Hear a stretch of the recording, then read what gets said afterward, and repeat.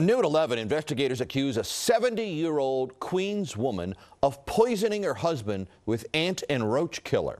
Prosecutors say a security camera captured Suncha Tenevra, Tenevra at the couple's Oakland Gardens home, reaching under the sink for a bottle containing boric acid, which she put into her husband's coffee at least two times. He got sick but survived. Tenevra pleaded not guilty to charges of attempted assault and reckless endangerment.